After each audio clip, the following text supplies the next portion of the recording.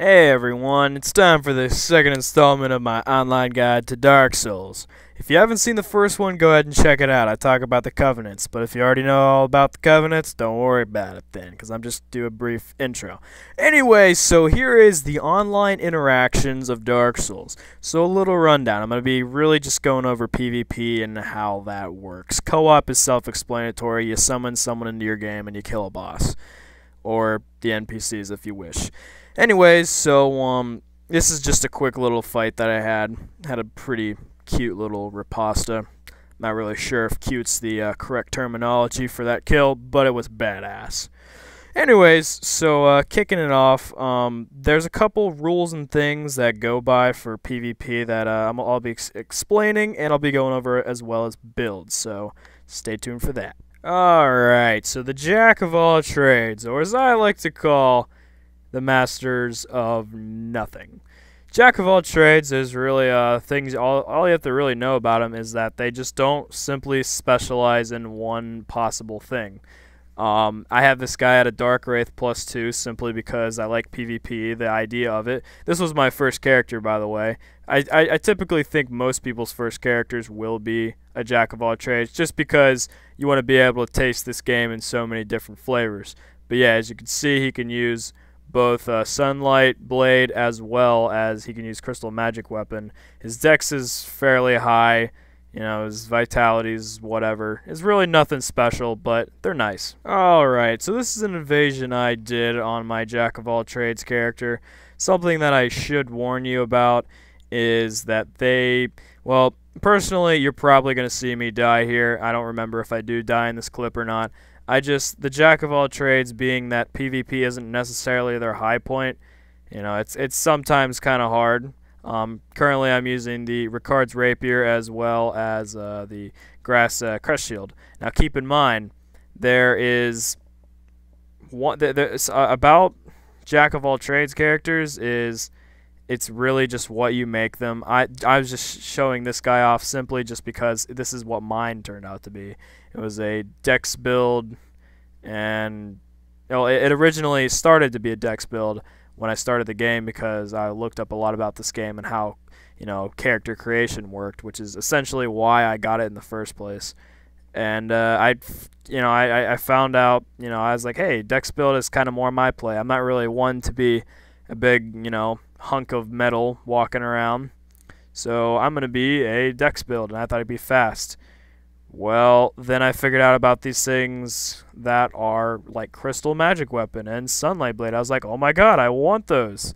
Well, yeah, eh, you know, they're very helpful, but then it also kind of took away from the overall um, play of how it works. Alright, this right here is my strength build.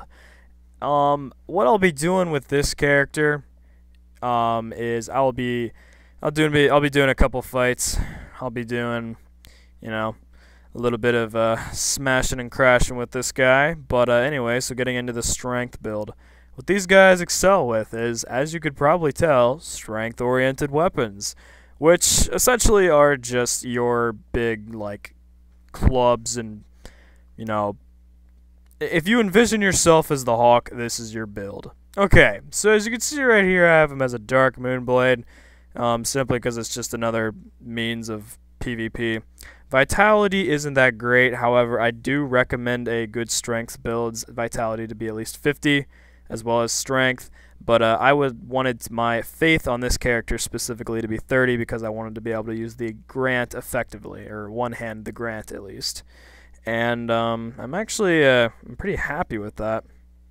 But I, ha I have my guy um, not lumped up with a bunch of armor like typical strength builds do. Simply, yeah, simply because I, I just, I don't know, I can't handle being slow. It's not my thing. But, uh, yeah.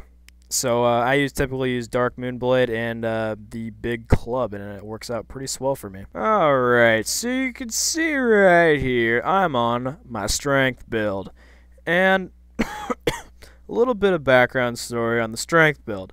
Now, I lose this fight because simply the strength build is just not my build.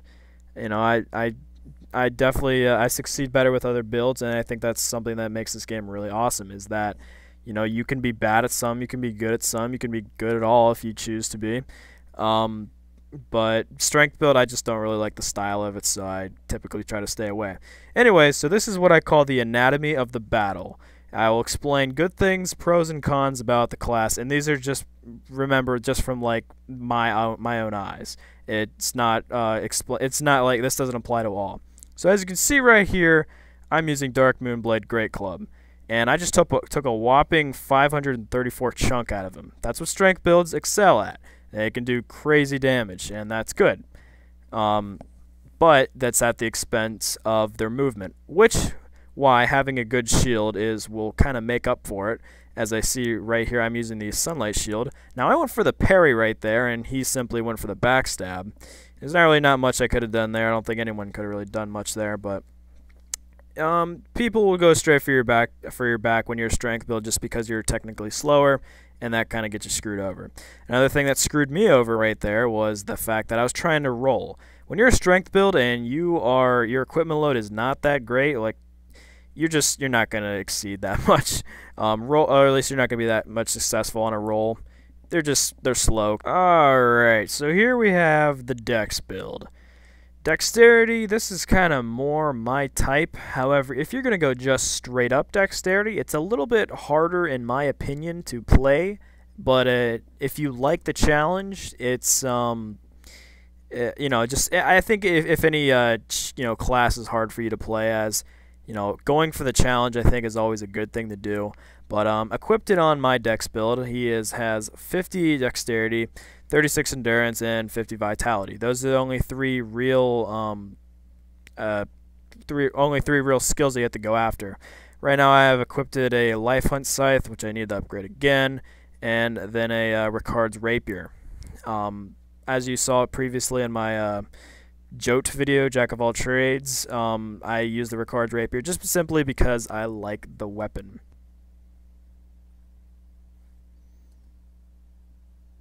Alright, so here is a fight from my Dex build.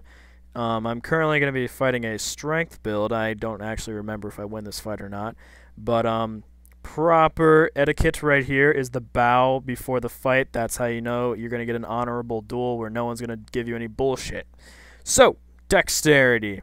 Um, these guys, uh, I, people that I'm fighting right now, the slower types, and also even better, two-handing a weapon, are my favorite type of people to fight. Just because they don't have anything to protect themselves other than if they block with their weapon, which when people are two-handing, most people don't really do. Um, so I can do this running attack that um, lets me uh, get a nice little quick jab in and uh, it typically hits for the most part, which I'm pretty happy. Right now, I'm trying to uh, riposta this guy because um, I use the Hornet's Ring, and I'm doing my running thing right there. You know, get to land a little hit on him. But uh, a lot of people actually have been saying the Hornet's Ring is a cheap thing to do.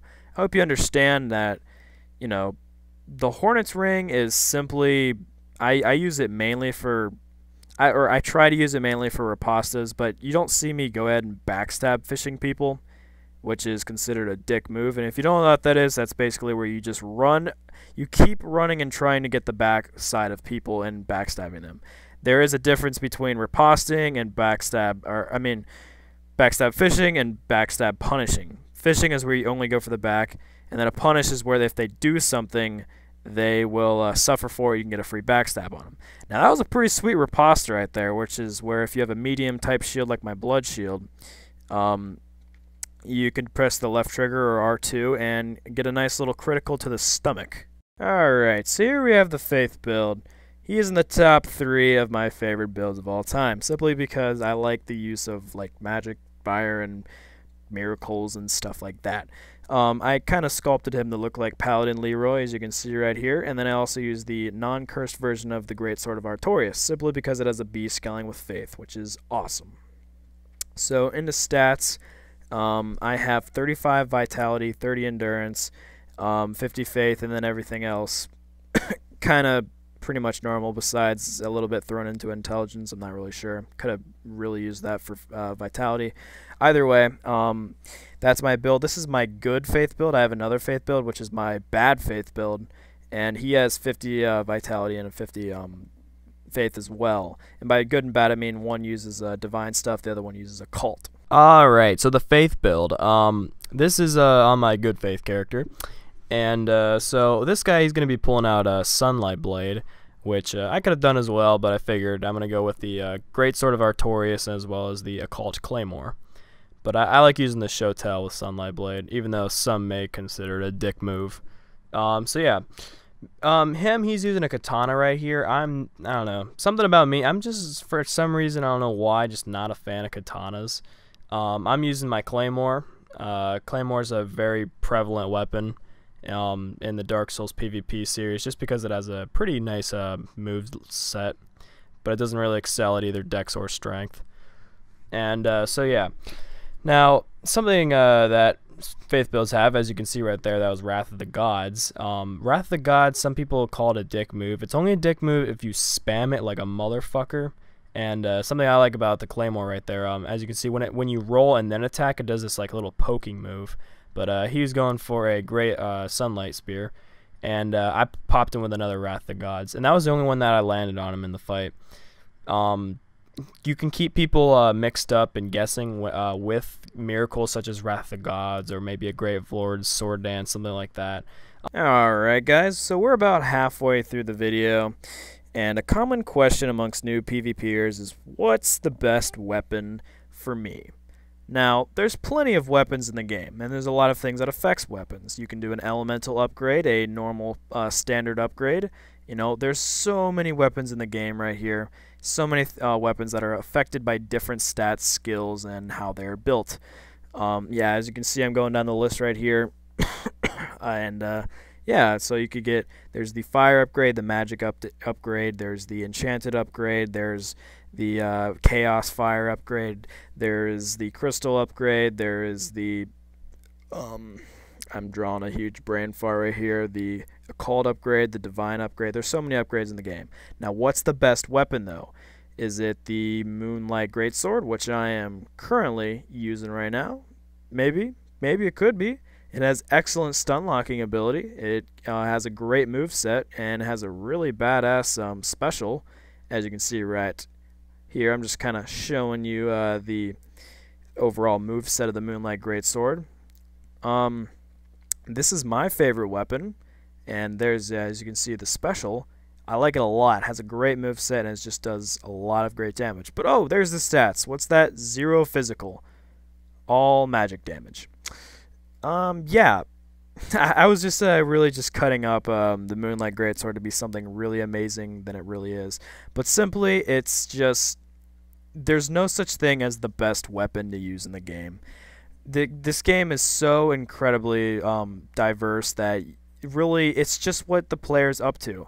Now I can give you some strong recommendations.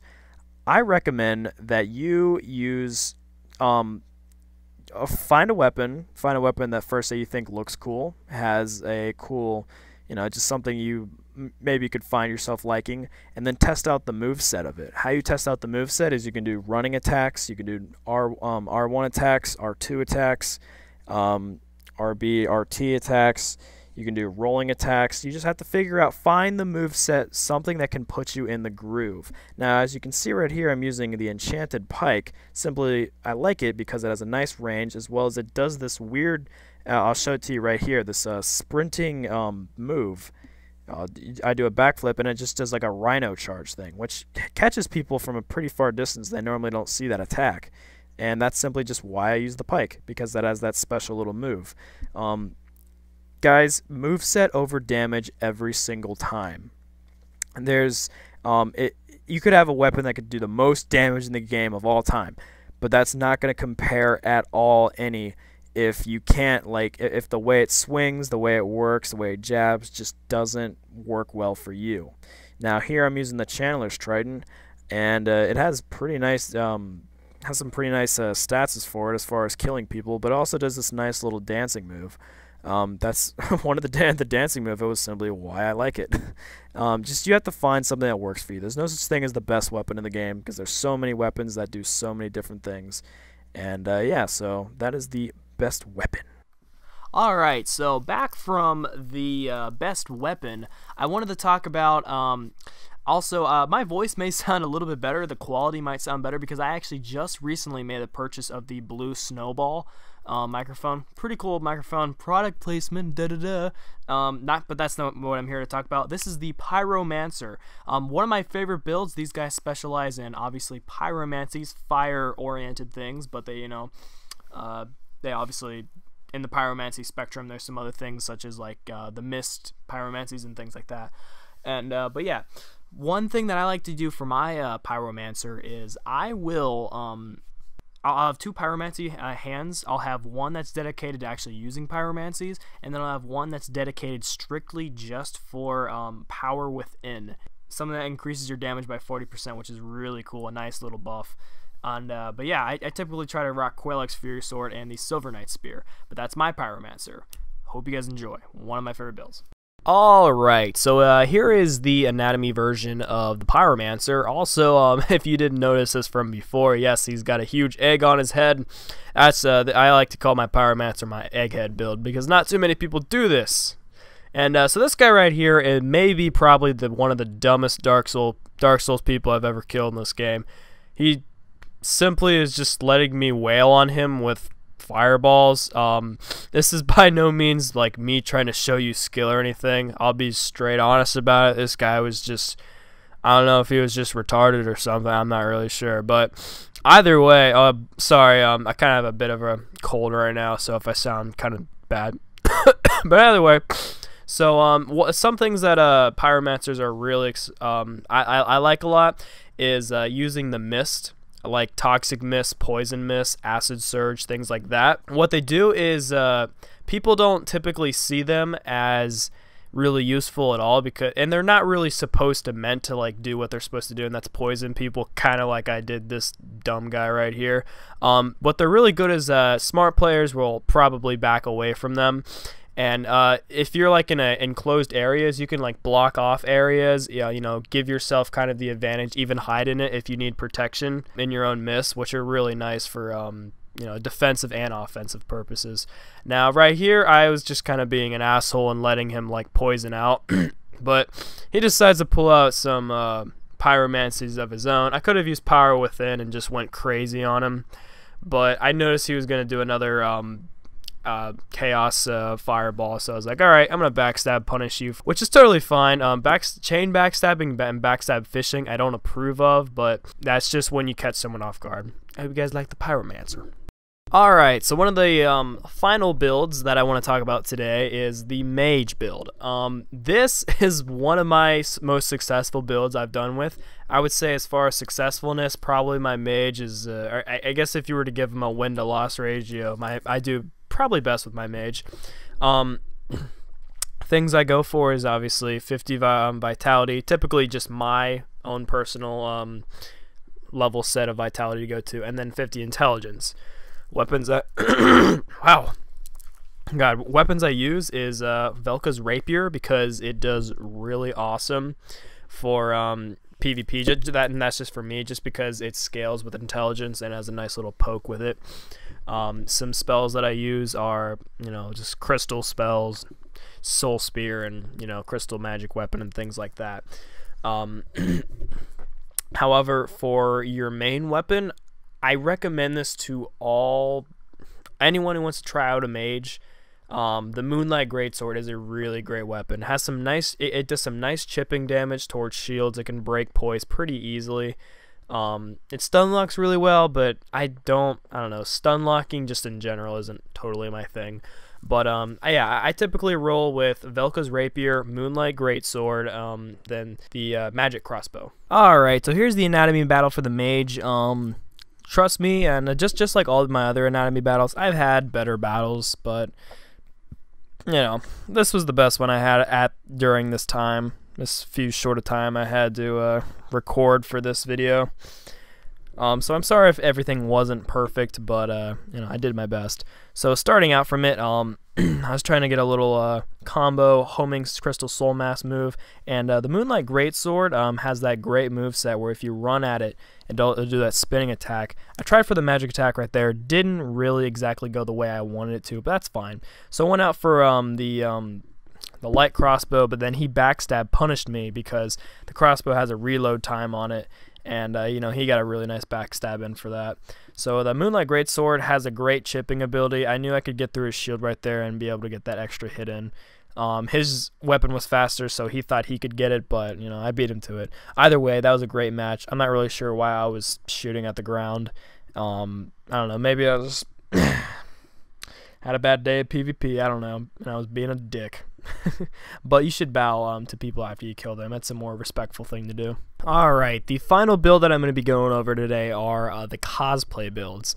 Now, a cosplay build is, uh, well, in essence, cosplay means to kind of uh, take the look or, I guess, model yourself off of um, something like a comic book character or and it doesn't even have to be comic books or anything video game related or anything like that. Just like modeling yourself off of a fictional character. In this case, I modeled this build off of uh, Thor, the god of thunder. I'm a big nerd for Thor. You know, even well way before Avengers or anything like that, or the Thor movie came out. I just i have always been a Thor nerd, so this is my Thor cosplay build that's in um, in practice or in the process of being made. And um, yeah, so eh, but a cosplay build, I didn't give any um, I, I didn't give any extra video for this because, you know, a cosplay build can be anything. This is just my own personal build.